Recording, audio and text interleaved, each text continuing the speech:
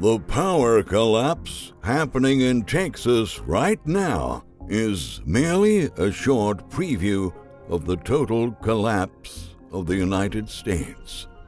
America's infrastructure is getting obsolete and starting to crumble. Our power grid wasn't designed to support so many people. Our water systems are a complete failure. This event has made it clear that we would be entirely lost if a major long term national emergency ever occurred. Texas is one of the richest states of the nation, and it also has vast energy resources, but its inefficiency and lack of preparation to handle this crisis has outlined how vulnerable the energy system in the state really is. And if it can't even handle a few days of cold weather, what's going to happen to this country when things actually start to get turbulent in the months ahead? That's what we're going to discuss today, so stay with us and don't forget to leave a thumbs up and share this video. And please subscribe to our channel to keep updated with the U.S. economic collapse the stock market frenzy, the housing market bubble, and much more. The chaos brought on by freezing temperatures has underlined how the power grid in Texas is more fragile than anyone ever imagined.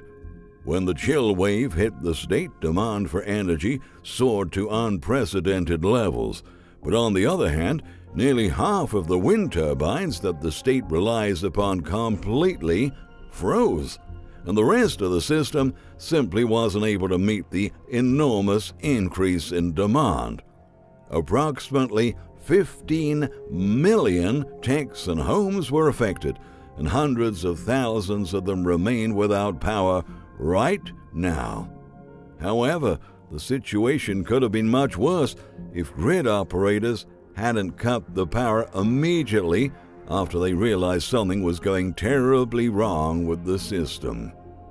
In a recent report, officials with the Electric Reliability Council of Texas, or ERCOT, which operates the power grid that covers most of the state, disclosed that when millions of homes throughout the state started to have power restored after days of power outages, Texas was critically close to entering a state of calamity and having uncontrolled blackouts all across the state. Texas's power grid was seconds and minutes away from a catastrophic failure that could have left Texans in the dark for months, officials said this Thursday. Coal plants, utility scale wind power, and natural gas fired plants all went offline due to the icy temperatures resultant from the relentless winter storm. Consequently, the amount of power supplied to the grid to be distributed across the state considerably dropped.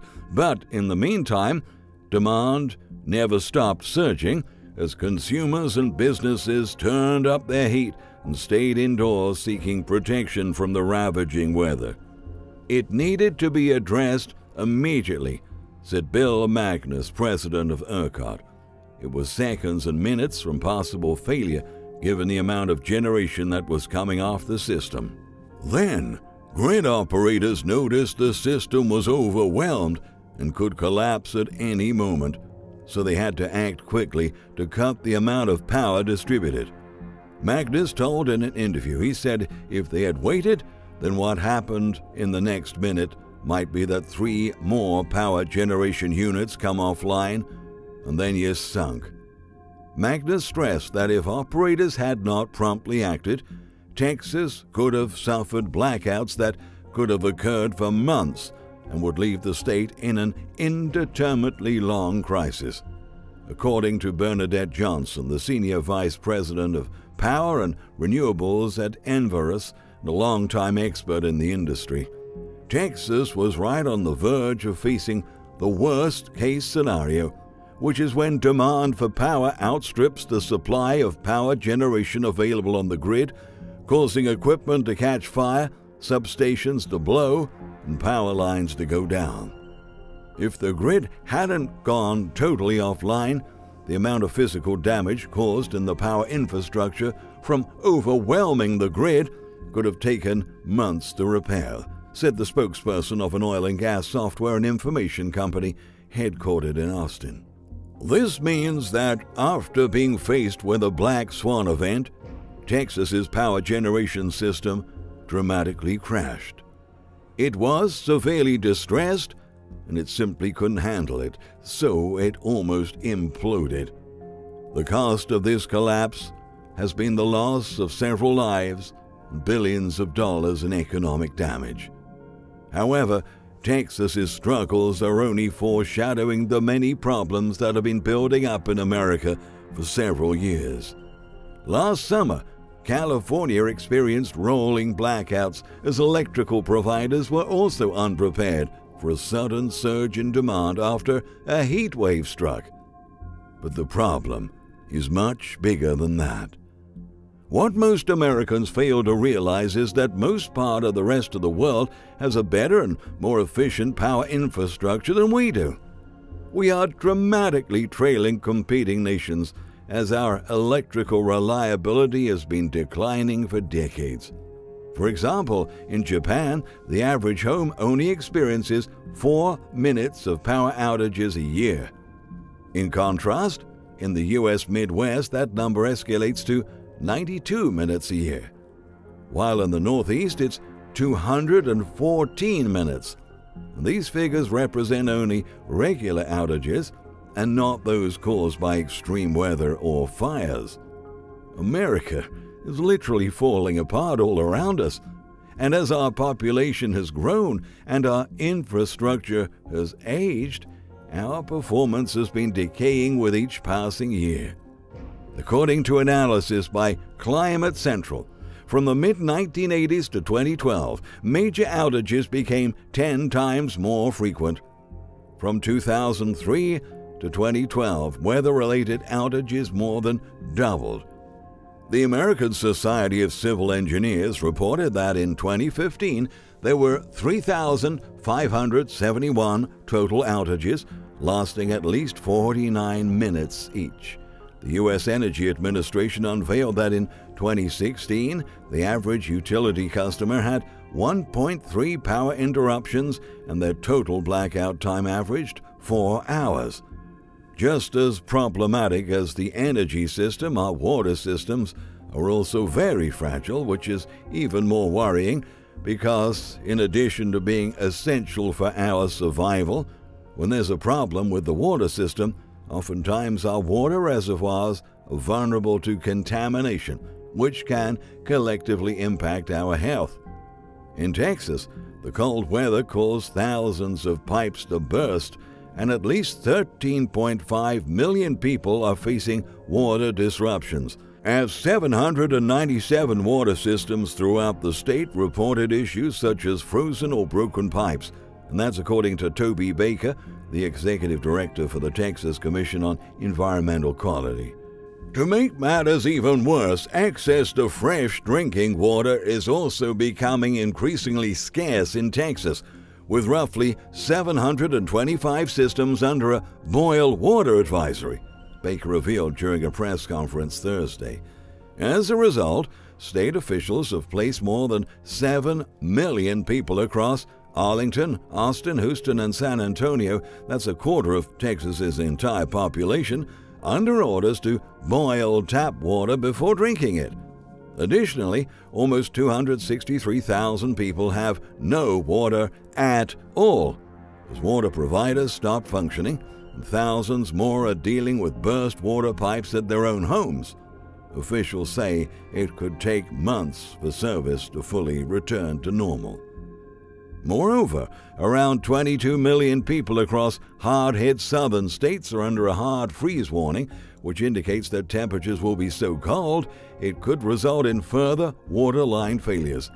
In Houston, despite the boil water advisory, thousands remain without power. To do so in Harris County, they're having to make the desperate choice between going thirsty or facing possible illness.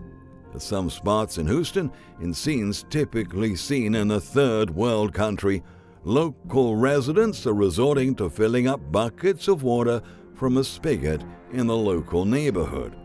One of them, whose power's just gone back on Thursday after three days but still has no water, told in an interview with the Daily Mail, It is crazy. We've just watched NASA land on Mars, but here in Houston, most of us still don't have drinking water. Shortages of food and other essential supplies are also being reported in Texas. Grocery stores are already unable to get shipments of dairy products. Store shelves are already empty, alerted Sid Miller, the Texas Agriculture Commissioner. He exclaimed, We're looking at a food supply chain problem like we've never seen before, even with the health crisis. HEB, a major Texas grocery chain, has over 400 stores across Texas and Mexico, disclosed that the unprecedented weather event in Texas has caused a severe disruption to its supply chain and even forced 10 of its stores to shut their doors. Like many other Texans they're experiencing, this disruption is complicated by power and water outages. For HEB, this means temporary impacts to manufacturing, warehousing, store operations, and the daily lives of employees and their families, the company stated. In addition to the current challenges grocery stores are now facing, the cold weather could potentially cause huge damage to the state's agricultural sector. For that reason, officials have warned that the storm could hamper food access for many weeks to come. At the moment, extremely long lines have been forming at local supermarkets all over the state. Some residents have affirmed to be waiting in line for hours long before the stores actually open.